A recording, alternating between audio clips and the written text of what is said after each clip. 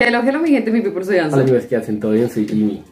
Chicos, vamos a ver. Es que ustedes no se imaginan por qué me estoy riendo, porque es que dice, la, lo que vamos a ver se llama la depilación y ya me dolió todo. En el área del bikini de la India Yuridia. De la India. Yuridia, entonces... Entonces no, no, no, no, no, quiero ver con qué va a salir Let's esa go. movie.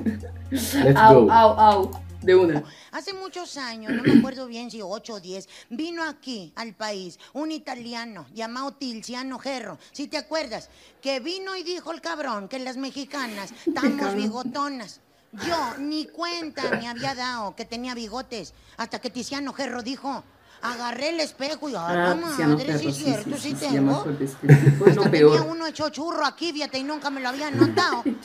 Fue conmoción nacional. Todas andábamos, ¿qué hacemos? Estamos bigotonas, ¿qué se va a hacer?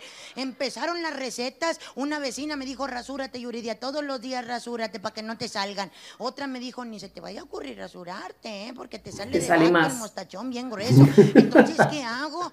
Una amiga me dijo, decolóratelo, güey, no te lo quites, decolóratelo con peróxido. Así le hago yo. Le digo, pues sí, tú estás güera. Yo prieta y el hocico rubio, ¿quién me la va a creer? Una prima me dijo que los bigotes se quitaban con cera caliente, pero no me dijo que era una cera especial. Yo agarré la veladora de San Juditas, mira. Hasta prendida me la vacié toda. Todo Au. el hocico me quemé, toda fruncida que quedé. Fueron meses en tratamiento para que me lo desfruncieran. Y todo para complacer a. Tiziano Gerro. Y luego para que saliera gay, pues eso hubiera dicho el cabrón, que no los bigotes.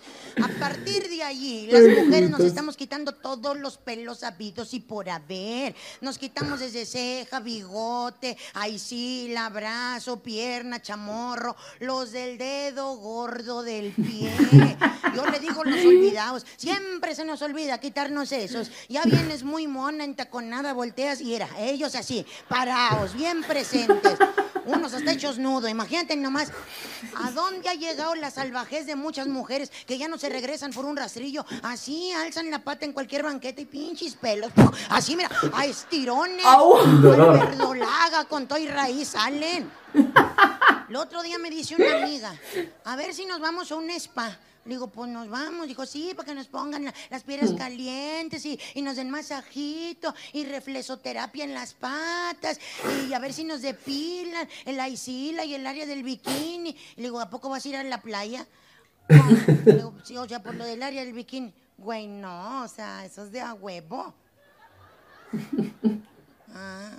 A ver, ¿cómo que? A, ver, ¿cuándo fue la última vez que te depilaste el área del bikini? ¿Yo? No, pues, ¿cuándo sería el, este... Ay, cabrón, que me agarraste fuera de base con esas preguntas. este, Hace rato. Un cálculo rápido, le digo, ¿cuándo sería? Nunca. Como desde que nací, que yo no me del bikini. Mi amiga se infartó. Güey, no puedo creerlo. Güey, no, o sea, nada más de imaginarme, güey, cómo has de traer, güey. ¡Qué horror! ¡Ay! ¡Depílate, güey! No, hazlo por mí, güey. Hazlo por mí, depílate. Hazlo por salubridad. Depílate la del bikini. Por el Mira, Rigoberto. me, me, me ganó. Le digo, está bueno, hombre, sí voy a ir. Al día siguiente fui a la estética, llego yo y le digo, buenas, ¿verdad? Ya es la mujer de la estética, le digo, vengo a depilarme. Claro que sí, ¿algún área en especial? Digo, pues es que, mira, el bigote no, porque ese ya no me sale. Le digo, desde que me descruncieron a mí, o sea, a mí ya no me salió. El bozo. Digo, no, el bigote fue el que- No, o sea, bozo. Aquí se llama bozo. Bigote, el de los hombres. Me impactó con tanta sabiduría. Hasta me puse nervioso. Dije, a la madre, si aquí no se llama bigote, entonces, ¿cómo chingo se llama acá? Ay. Y yo, para no regarla y no decir palabras que no debo, pues me di a entender, ¿verdad? Le digo, mira, yo vengo principalmente porque tengo un bosque muy frondoso. No me mandó ecología la vieja, vaya. Le digo, le digo, mira, para que me entienda rápido, yo me pongo el calzón y como son bigotes, así. Ah, ok. Lo que usted requiere es depilación de área de bikini. Le digo, ándale. Sí, se llama el área del bikini. Así es. Le digo, bueno, quiero una. Claro que sí. ¿Algún modelo en especial? No, pues no sé, yo soy nueva en esto. No sé cómo que me sugieras. Vas sacando un catálogo con fotografías reales. Vi colas ajenas a diestra y siniestra, que es la del Triángulo de las Bermudas, que es la de Hitler, que es la de Batista. Y yo, pues, ¿qué es eso? Es que no me enseñes eso. A mí me afecta ver eso. Lo voy a soñar, todo eso que estoy viendo. Le dije, no, en la noche me van a atacar esas madres. Digo, no, no, no algo de acuerdo a mi tipo de rostro, no sé. Pues no, ahorita no tenemos nada de eso, pero tenemos la promoción del mes. Era febrero. Ahorita le podemos poner San el nombre Valentín. de su pareja o algún mensaje por el Día del Amor y la Amistad.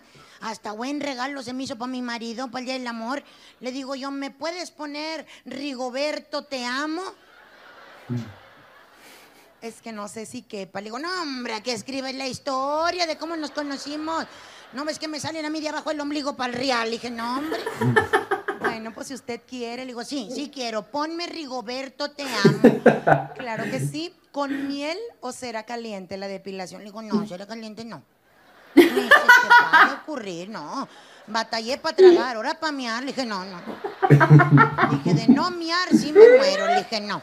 Ponme miel. Si oye más bonito. Yo no sé quién le puso miel a esa cosa para depilar. De dulce no tiene nada. Es una cosa chiclosa que te untan así con una batelenguas y luego te le revuelven y te le revuelven. Hasta te sientes como dulce regional, mira, a, a puro meneadero, meneadero. Y, y sin que te lo digan, no les tiran. ¡Ay, pues su madre! Mira, después de 15 minutos salí así.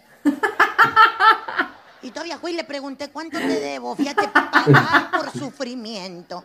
Para que el mendigo de Rigoberto ni cuenta se diera que allí decía su nombre.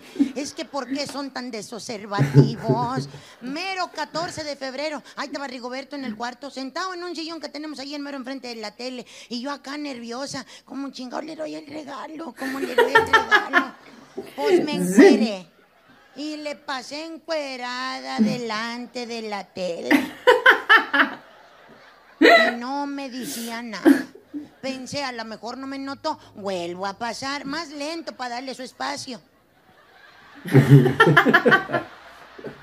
Seguía sin decirme nada, que me encabrono. Le digo, ¡eh! ¡Look at me! ¡Obsérvame! Ya te vi, descarada, vístete, pues, ¿qué es eso? Andas encuerada por toda la casa. Le digo, no ando encuerada por toda la casa, nada más aquí en el cuarto. Y es para ti. ¿Y yo para qué te quiero encuerada? es para el regalo. ¿Cuál? ¿Cuál? ¿Cuál?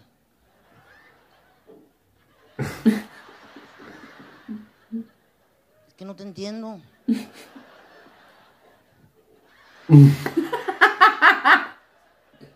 Te entiendo. ¡Chingado, Rigoberto! ¿Qué dice mi área del bikini? ¿Qué dice?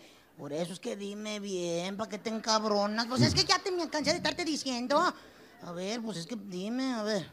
En el área del bikini dice.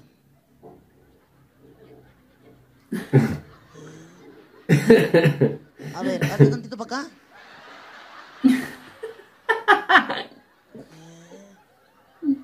A ver, ayúdame. Álzate la panza. bien- Álzate la panza. Hijo de tu madre. No, yo quería saber qué pasó. Vamos en la mitad No, del cuento. ¿qué muy pasó? bueno, muy bueno. Que no se da cuenta, bro. No, como no se da cuenta. Espectacular. La India también otra. Súper genial. No, no, no. Esta Es- mujer es de lo mejor. La verdad que sí, es una locura. Qué buen monólogo este. Amigos, somos mi gente mi people. Ahí les dejamos las redes sociales para que nos sigan en todas ellas. No olviden en todas ellas. Eh, like, campanita, suscríbanse y estamos hablando para el próximo video que vienen Muchos más. chéveres, Chao, chicos. bacanos.